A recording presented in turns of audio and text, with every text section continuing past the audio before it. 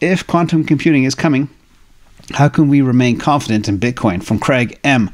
Well, as I always say, and we get this probably once a year, but it's very important to stay on top of it and refresh exactly where we are.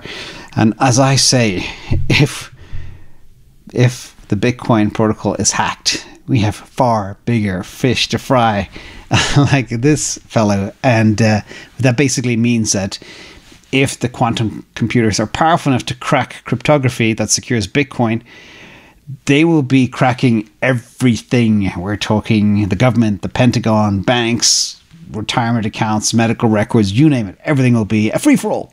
So don't worry too much. Let's do a quick recap on where we are with quantum computing.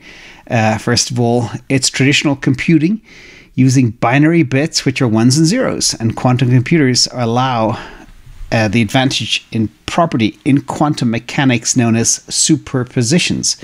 And this is where particles can be in a zero or one state at the same time.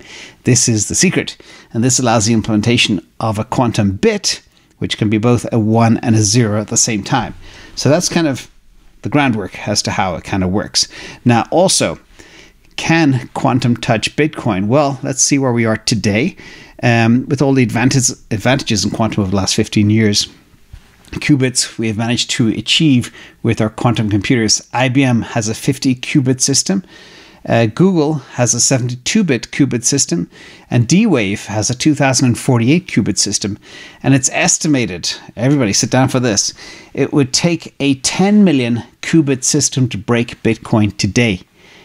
Today, okay? And uh, that includes, um, you know, many, many D Wave 2048 uh, machines. This means they are designed to solve one specific problem, and that is known as search space discrete. Now, these computers will not be able to do anything to search space non discrete, problems like Schnorr signatures. Hence, quantum computers have a very, very long way to go before they can touch Bitcoin. All right. And with that as well, things that can be done, and it's important to be paranoid all the time about this, but don't lose faith in Bitcoin. Someday, quantum computers will be able to break SHA 52, SHA 256.